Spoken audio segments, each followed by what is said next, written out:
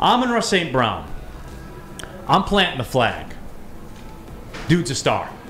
Stud. He's he's he's a star. Look at look at the air he's in right now.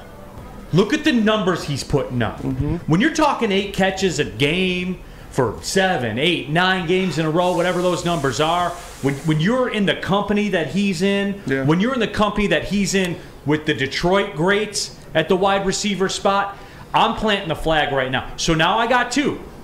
I got two stars, and I'm going to get to Penei Sewell next segment. I got two bona fide stars that I'll ride with that are on rookie deals. And yes, guys, I will give you the qualifier. Amon-Ra St. Brown's entire rookie contract is less than Kenny Golladay will make in September.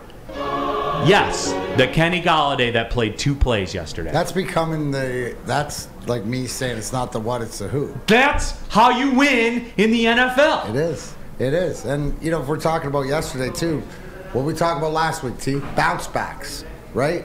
You know, can we see some consistency either on the high end of what uh, Malcolm Rodriguez did last week? Could he continue to do that? And what was the big thing?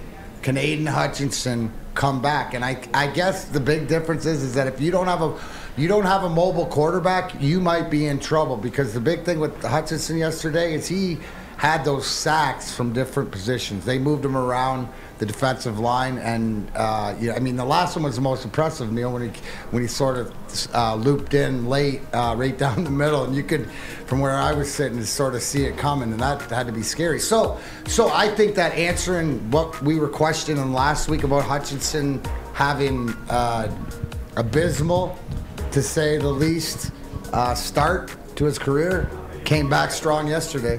Stats will prove. I, I think